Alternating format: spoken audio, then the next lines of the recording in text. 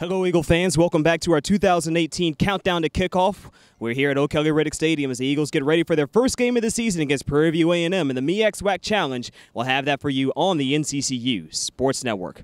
Jonathan Duran alongside our new quote-unquote tight ends coach, Coach Turner. Coach, thanks for joining us. Thank you for having me. So you used to be involved in the program, and now you're back here. Talk about what you were doing here previously and your journey coming back here to be an Eagle. Well, uh, in 2014, I came here with the you know the original staff under Coach Mack, and I was a graduate assistant working uh, as a video coordinator.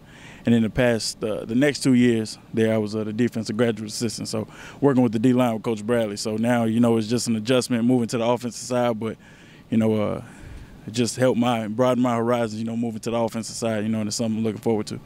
So you're in here with this tight end camp that includes Josh McCoy and Xavier Crandall, the two guys who were really influential in this offense last year. What have you seen from them and some of the new guys here in camp? Well, the thing that the thing that stands out mostly with those two is just the leadership. You know, the attention, the attention to detail that they bring every day. Um, and speaking on the you know the newer guys, you know we have a, a red shirt freshman Sherman McLeod who's done some really, really nice things. You know during camp, and uh, really paying attention and learning in the classroom as well. And Zach Kellum, he's a freshman as well. That's uh, been having a pretty good, pretty good summer. You know, the uh, the thing with those guys, you know, is just attacking the day. You know, and and, and taking care of the little things and and really embracing the grind. What we're trying to do here.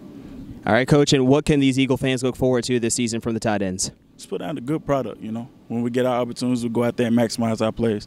Hard nose, playing to the grind, end of the whistle. You know, and and that's one thing we need to harp on, and that's how you know we hope to get wins you know, and that's that's what we'll bring to the team. All right, Coach. Thank you very much. Appreciate it. Thank you.